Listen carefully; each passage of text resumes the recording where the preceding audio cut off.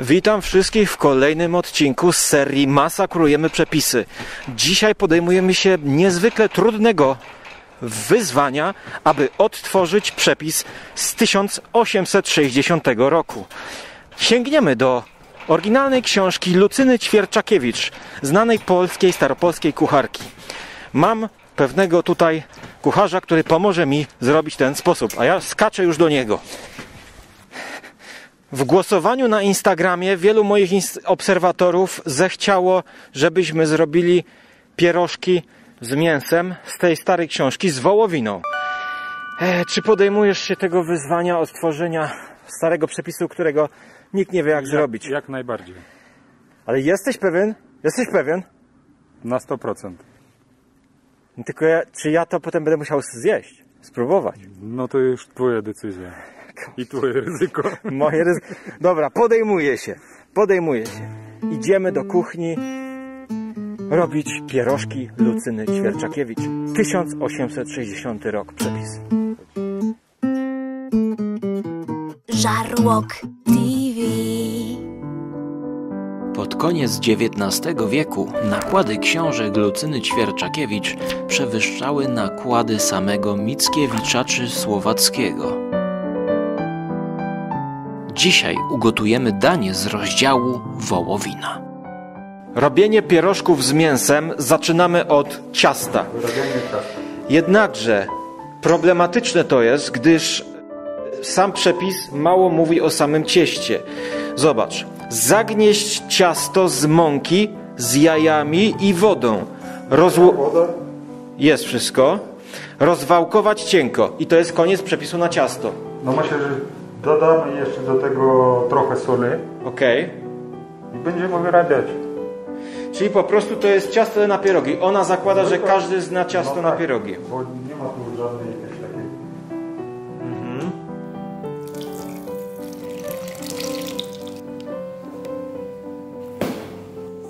Panie Broda, więc tak wygląda przepis na farsz, jaki tutaj mamy. Pozostałe mięso z rosołu użyć na pierogi. Mamy mięso z rosołu? Mamy. Co to mamy? Wołowina i wieprzowina. A Z rosołu. A to? A to są pieczeń wołowa. Pokroić to na kawałki, posiekać. Jeśli kto ma nerkę lub kawałek pieczeni pozostałej, mamy pieczeń pozostałą, lub kawałek świeżej słoniny na wpół ugotowanej. Słoniny dzisiaj Słoniny dzisiaj akurat nie, nie mamy. Mamy trzy różne kawałki mięsa. Tak. Fit bardziej robimy. Dodać parę grzybków suszonych, ugotowanych, czyli tutaj same grzybki, Same grzybki. lub pieczarek śmie- świeżych. I jeszcze pieczarki świeże. Będzie też troszkę pieczarek posiekanych, które należy bardzo drobno usiekać. W rondelek włożyć kawałek masła, wrzucić trochę pieczonej tartej cebuli, którą już upiekliśmy. Tak. Jest pieczona. Tak.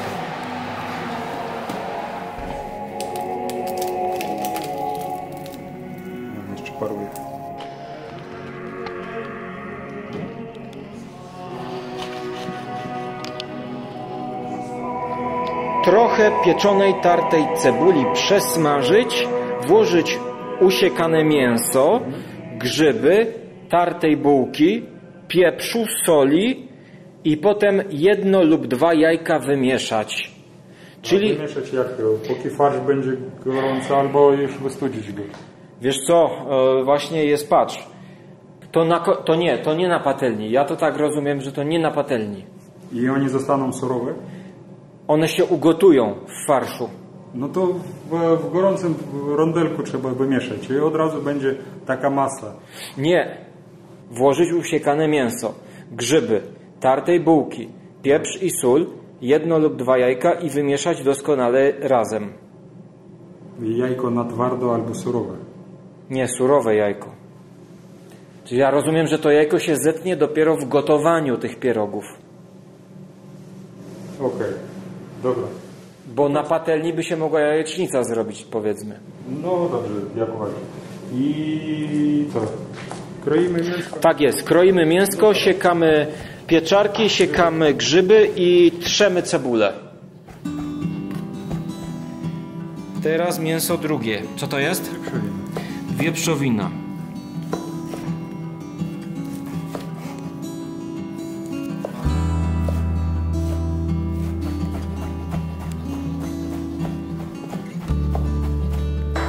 Mięso jest po rosole, tak? Czyli po prostu rosół był też z marchewką, z cebulą gotowany, Cebulą z selerem, z selerem, tak jak liść ławrowy, pieprz czarny, ziele angielskie, pieczeń wołowa. O, to żal trochę kroić.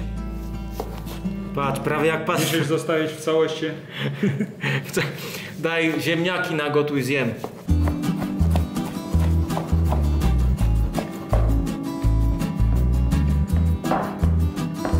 To, jest dokładnie ten smak, który potrzebowaliśmy. To, to dokładnie jakbym od mojej babci albo mamy z rosołu, ja tak, takie mięso. W przerwie cię zapraszam tu na wieprzowinę. Taka wegańska wieprzowinę mam. Wegańską wieprzowinę, naprawdę. O kurz, Wieprzowina. Fred Fertier. No, Znasz go? nie znam go. I co to ogonki No wieprzowina. No. Widzisz, taki, taki pulled pork trochę. I Wegańskie. 9 na 10. Jakoś to boczek nie za bardzo. Pokroić takie na przykład tatara zrobić z takiej świni? Miałoby się.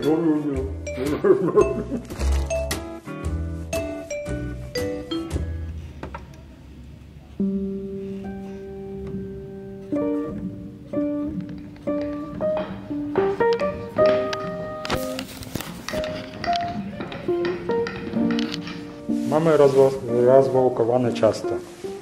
I z niego teraz będziemy robić już pierożki. Tylko kwestia taka, na ile musi być grube to ciasto rozwałkowane. Właśnie. Możesz mi powiedzieć? Kwestia jest taka. Słuchaj, w przepisie jest napisane tak. Zagnieść ciasto z mąki z jajami i wodą, rozwałkować cienko.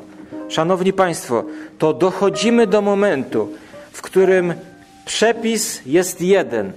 Dla kogoś cienko to będzie milimetr, dla kogoś będzie 5 milimetrów. A jak cienko to powinno być? No na moje oko, tak, na, na oko. To jest cienko. Na Twoje oko ile to jest? No dwa, dwa, trzy milimetry. 2-3 mm. No to załóżmy, że to mamy. Zawinąć ciastem i wykrawać żelazkiem lub kieliszkiem małe pierożki. Można i szklanką. Ale od szklanki będą zbyt duże. Czyli Mam taki kubek. Masz kubek? Spróbować z tego zrobić.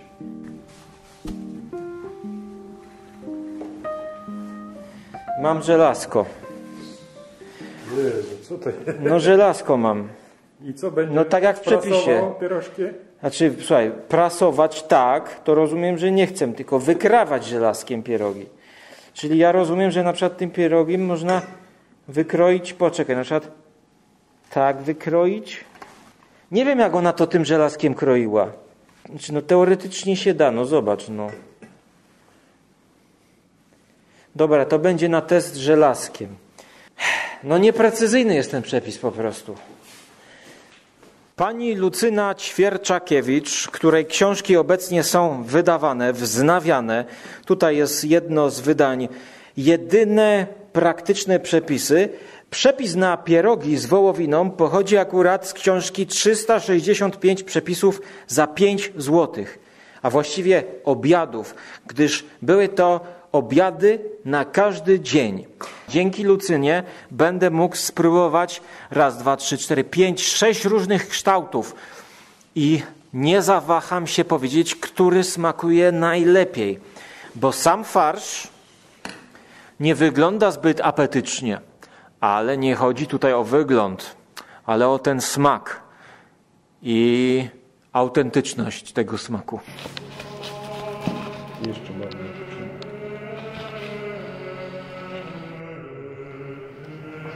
A wiesz co, ma, ma absolutnie inny smak. Nie wiem do czego jest podobny, ale całkiem inny. Jest ciężko. Nie, za rzad, z rzadsze, za, rzadsze sito weź. I co ja z tym będę robił? O, na tym. No to możesz spróbować. Czyli drobno, ale to trzeba bardzo drobno.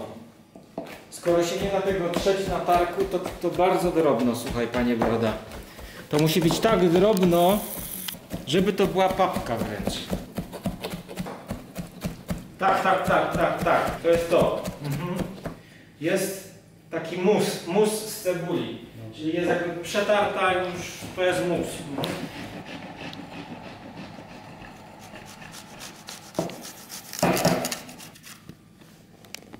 To będzie szybciej.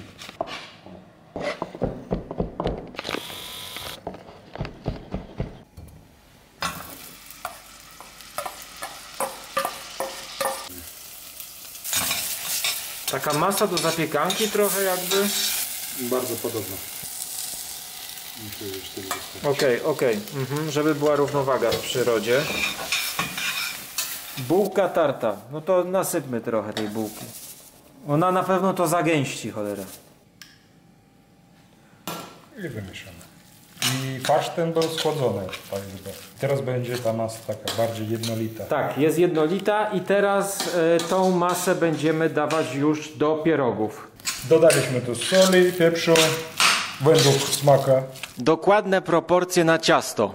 Dla ciasta nam było potrzebne dwa jajka, trzy łyżeczki do herbaty soli, kilo mąki i półtorej szklanki wody.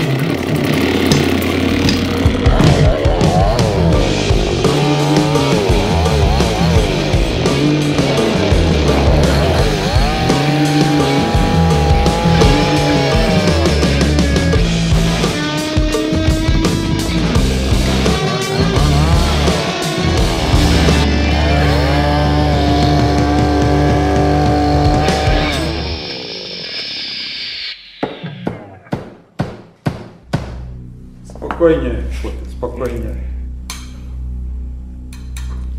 Taki kształt, no tradycyjny, tradycyjny kształt. Mm. Kształt tradycyjny, ciekawi mnie to mięso. Ale tak bardziej nowocześnie pan czegoś nie ma? Jakieś takie fikuśne kształty, takie eleganckie bardziej? A, taka rybka jakby. Warkocz. A można jeszcze zrobić na przykład takim warkoczykiem. No zobacz. O kuźwa, takiego to nie widziałem. Skąd taki wytrzasnąłeś? No też sam powiedział, że zrób jakby czuł siebie gospodynią w Okej. 1860 roku. Dobra, no to, to jest, te- idziemy w te rejony, tak, tak, tak. Mm. A magii? Pan ma magii? Tak, będzie magia w pierożkach. Magia, ale ten wygląda naprawdę niczego sobie ten. O, ten jest dla, Dla dwóch osób. dla dwóch, tak.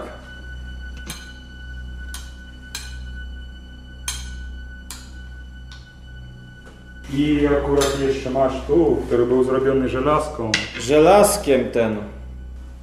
Lucyna kazała to polewać masełkiem z Z bułką. z bułką tartą. Tak jak teraz obecnie taką bułką tartę się daje do pierogów leniwych, to chyba chciała wykorzystać wszystkie resztki i wszystkie okruszki nawet. Dobrze. no. Słyszę, że u Ciebie ślina ciepnie.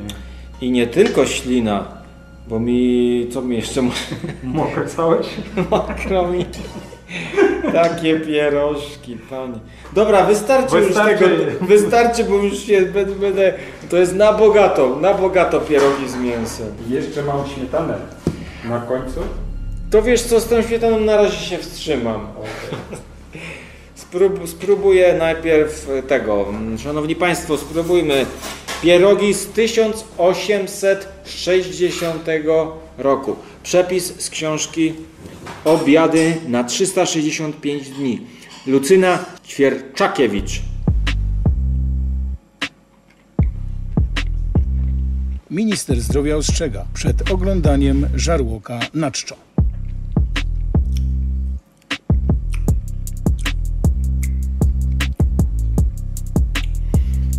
Masło.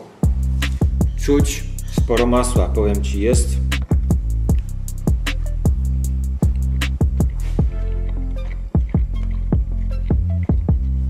Myślałem, że mocniej będzie czuć to mięso, a to mięso jest takie bardziej. Grzyby. Bardziej grzyby czuć. Ten jest od żelazka.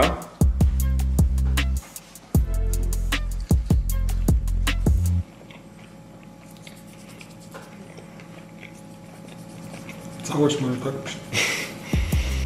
że mało czuć mięso, a mnie to dziwi, bo tego mięsa daliśmy cholernie dużo. Ale czujesz cebulę? Bo ja ce... Nie, cebuli pieczone w ogóle nie czuć. Ja wyczułem smak grzybów. Głównie Jakby grzyb, grzyby z jakimś dodatkiem. z masłem. Jest taka masa, czuć taką masę jakby, która by wypełniała. Powiedziałbym, że tego smaku mięsa nie ma, tylko bardziej jest taka, kurczę, no nie wiem, mama łyga, Mię... ogólna. Hm. Wiesz dlaczego ten przepis? Bo zazwyczaj mięso z rosołu to są, no, nie ma w siebie smaku. Bo on, mięso z rosołu ten smak wypuszcza, więc to jest taka konsystencja mięsna. Ten farsz ma mięsną konsystencję, A smak ma inny. smak ma taki chlebowo, Grzybowy. tak. I cebuli w ogóle nie czuć. Hm. A to masło z bułką tartą jeszcze Jeszcze bardziej dodaję. Udziwnia, no powiedziałbym udziwnione bardzo te pierogi, udziwnione. Ale one są treściwe, powiem Ci. One są takie ciężkie, grube, takie napakowane. No i możesz zobaczyć, bo przez to ciasto widać farsz. I moim zdaniem jest to, że to są pierożki takie muszą być. Żeby prześwitywało. No tak. I gdzieś tam po kantach, po bokach masz to ciasto. No się będę z tej kuchni wy, wytaczał, będziesz mnie. Ja mam dobrą taką porządną taczkę. Taczkę, no. Jestem zaskoczony, ale te pierogi poszły w zupełnie innym kierunku, aż aniżeli się spodziewałem. No chlebowe, ja bym to nazwał smak pierogi z chlebem, ja bym to tak nazwał. Smak dzieciństwa. Wiesz co, nie, takie, takiego dzieciństwa to nie miałem. Nie miałem dzieciństwa oszustwa. Mia- Myśli, myślisz, że te pierogi to jest takie oszustwo, że tutaj powinno być więcej mięsa? Dzisiaj, dzisiaj byśmy to zrobili z większą ilością mięsa? No tak. Mhm. No. Jakby ktoś dzisiaj w restauracji zamówił pierogi z mięsem, I dostałby w takim smaku pierogi, no to a w awanturę mógłby zrobić. te pierogi by poleciały. Mhm. No ale wiedząc, co tutaj jest, wiedząc, co myśmy tutaj dali, ja nie mam poczucia, że jem, wiesz, coś o jakimś sztucznym smaku, tylko ja mam takie poczucie, że tak, idę w góry, jem takie sześć pierogów I spoko. i wrócę, nie? I wiem, że przeżyję tę podróż. Ile tu było? 8 pierogów? 10? 15 panie. 15 mi tu dałeś? Tak. 10 było małych, tradycyjnych. Jeszcze możesz tam policzyć, ile było nietradycyjnych. Takiego smaku pierogów w żadnym barze, w żadnej restauracji nigdzie nie dostałem. Nigdy, nigdzie tego typu pierogów nie. No bo chyba dzisiaj, jak się bierze pierogi z mięsem, to nie bierzesz mięsa z rosołu. Kończymy. Dzisiejsza masakracja przepisu wyszła zaskakująco. Odkryliśmy smak, którego przynajmniej ja nigdy wcześniej nie jadłem. Jadłeś taki smak kiedyś?